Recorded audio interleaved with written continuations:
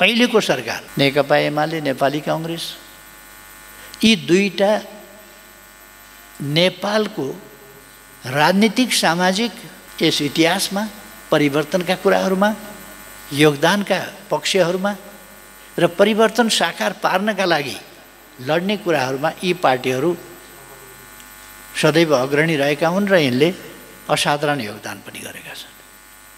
यिनको कमिटमेन्ट छ डेमोक्रेसी मर्न दिँदैन नि पार्टीहरूले डेमोक्रेसी देशका लागि जनताका लागि काम गर्ने सर्वोत्तम व्यवस्था हो। मानव जाति, मानव जातिले सामाजिक सुप्रबन्धका लागि विकास गरेका दुईवटा कुरा हुन् सामाजिक सुप्रबन्धका लागि पहिलो विकास गर्यो मानव जातिले पोलिटिक्स।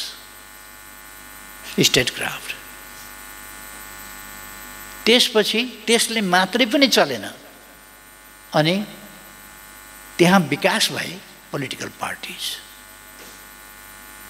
एउटै स्लोगनमा एउटा देशको वल्लो छेउदेखि पल्लो छेउसम्म, पूर्वदेखि पश्चिम, उत्तरदेखि दक्षिणसम्म एउटै स्लोगनमा, एउटै विचारमा, एउटै कार्यक्रममा, एउटै नीतिमा हिँडाउने भनेको पोलिटिकल पार्टीले हो।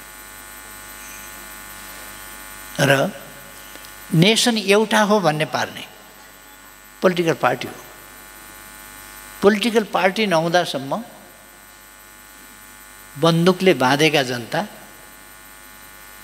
नेसन भइसकेका हुँदैन। हामीले खोजे खोज्यौँ के भन्दा, भानुभक्त आचार्यले रामायण संस्कृतबाट नेपालीमा अनुवाद गरे अथवा अलिकति मौलिकता पनि थपे, लेखे। त्यसले एउटा राष्ट्रिय भाव बन्यो भनेर हामी भन्थ्यौँ। पृथ्वीनारायण शाहले एकीकरण गरे भनेर। तर सबैमा नेपाल भन्ने भावना पलाइसकेका थिएन।